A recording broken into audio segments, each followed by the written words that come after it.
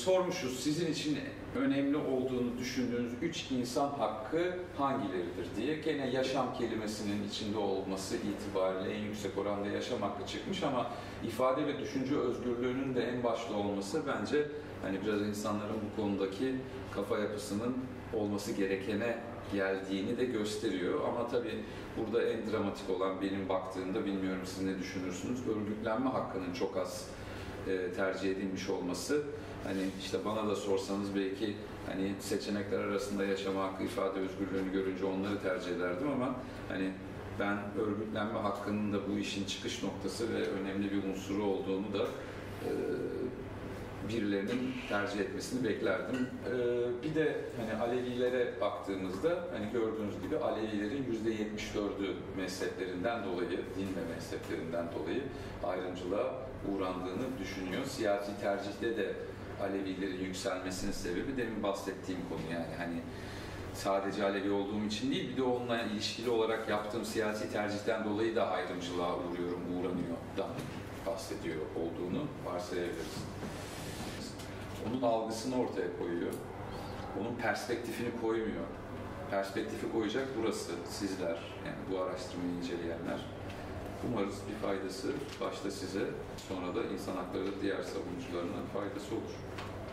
Ee, yine eylem planının açıklandığı 21 yılı itibariyle hükümetin İstanbul Sözleşmesi'nden çıkması, Türkiye'nin Avrupa İnsan Hakları Mahkemesi kararlarına uygulamaması, taraf olduğu sözleşmelere uygun hareket etmemesinden kaynaklı olarak da toplumda adalet kavramına güven, güven duygusu aşınmaktadır. E, kamuoyu araştırmasında yer alan demografik veriler ışığında katılımcıların insan hakları kavramına öncelikle yaşam hakkı, özgürlük ve eşitlik kavramlarıyla tanımlandığı görülmektedir. İnsan hakları kavramını Kürtler ve Aleviler daha çok özgürlük ve eşitlik kavramıyla, kadınlar ise yaşam hakkı kavramıyla ilişkilendirmektedir. En önemli insan hakları yaşam hakkı, ifade ve düşünce özgürlüğü hakkı ve adil yargılanma hakkı olarak. Türkiye'de en çok yoksulların insan hakkı ihlali, ihlaline uğradığını düşünenlerin oranı son 3 yılda artmış görülmektedir. Toplumun %38'i yoksulların insan hakkı ihlaline uğradığını düşünmektedir. Ekonomik kriz nedeniyle yoksulların dezavantajlı kimliğe sahip olduğunu gösterirken bunun insan hakları ihlali üretecek kadar toplumsal bir yarılma ortaya çıkardığını da göstermektedir. Yoksulların ardından en çok kadınların insan hakkı ihlaline uğradığı düşünülmektedir. Toplum genelinde kadınların insan hakkı ihlaline uğradığını düşünenlerin oranı %38 görülmektedir. Toplum en çok siyasetçilerin insan hakkını ihlal ettiğini düşünmektedir.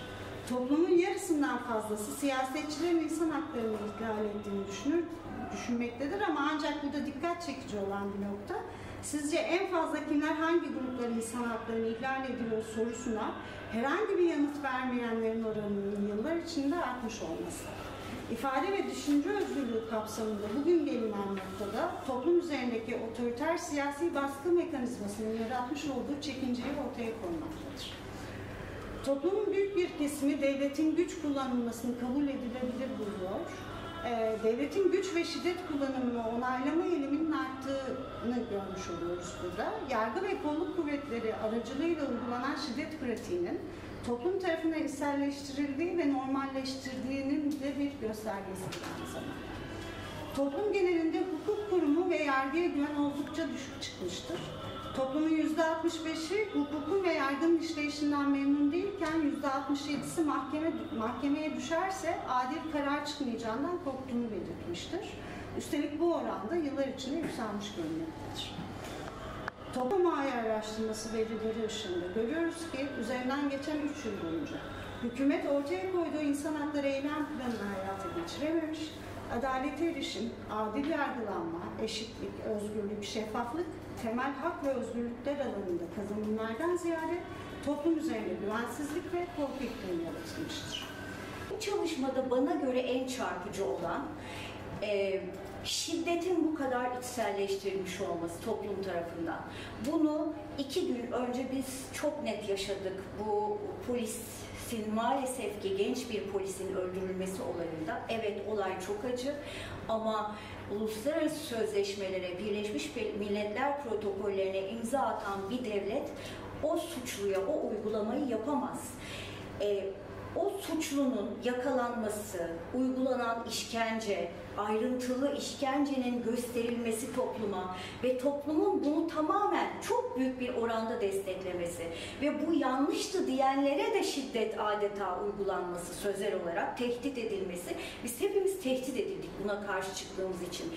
Ve bu içselleştirilen şiddet maalesef ki önce kadınlara, çocuklara ve LGBT artılara dönüyor. Yani bu sadece toplumda şiddet içselleştirildi değil.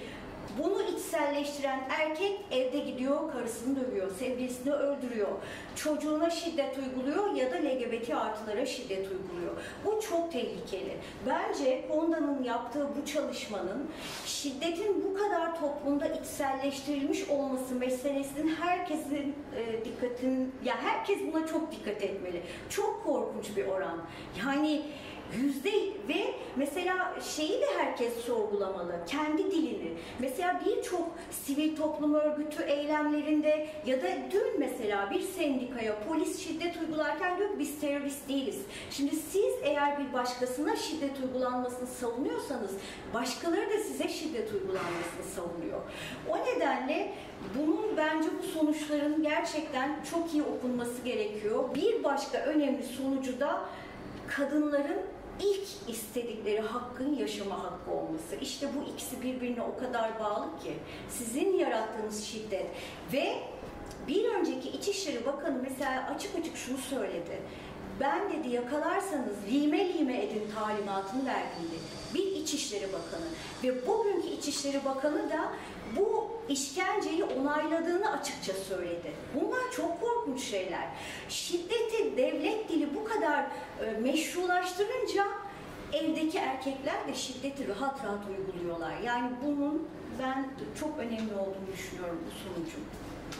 Evet aslında orada benim de dikkatimi çeken bir noktanın altını çizeceğim siz de anlatırken. Bu insan haklarının korunması noktasında e, hem sebep siyasetçiler olarak gözükmesi dolayısıyla aslında siyasetin Türkiye'de her şeyin üstünde bir etki e, yarattığını e, işte yargının ya da yasanın işte e, bir şekliyle siyasetin vesayeti altında olduğunu aslında gösteren bir veri diye düşündüm ben onu e, okuduğum zaman. E, bir diğeri de insan haklarının korunması noktasında devletten beklemeleri. Yani evet devlet korumalı yani ya da devletin kurumları işte yargı e, vesaire, meclis. Şimdi bu oldukça önemli çünkü biz de aslında her açıklamamızda devlete sorumluluklarını hatırlatıyoruz ve diyoruz ki de, devlet işte anayasa ve uluslararası sözleşmeler üzerinden de e, sorumluluklarına uygun davransın ve insan haklarını ihlal etmesin. Dolayısıyla korusun. Aslında oldukça isabetli tespitler olduğunu da görüyoruz. Ben e, daha umut var oldum. Aslında hem sorunu doğru, kaynağını doğru tespit etmek ve çözümünün de aslında nerede olduğunu e, toplumun gördüğünü e, göstermesi bakımından.